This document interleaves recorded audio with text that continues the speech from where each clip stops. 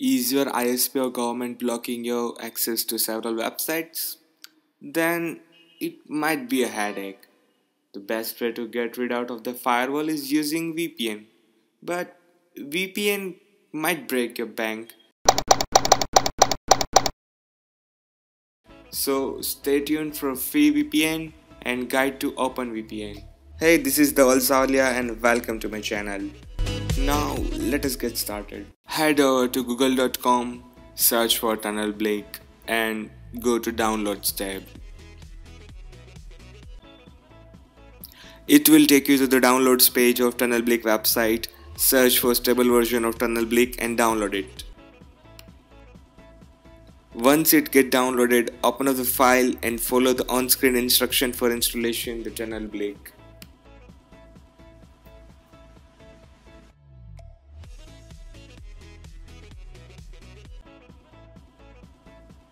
Once installed, head over to google.com and search for VPN Gate.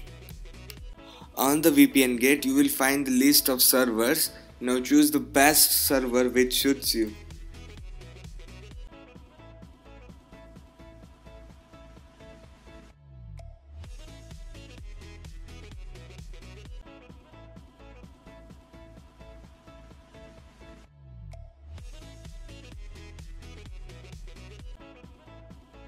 Open the downloaded file, click on Unlimi, enter your password and you are good to go. Your VPN configuration is been installed.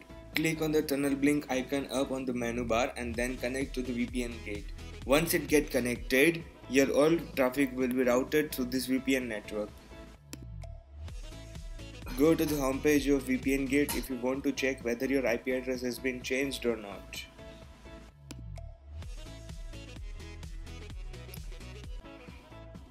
Hit the like button, share this video and if you have any queries please do comment below.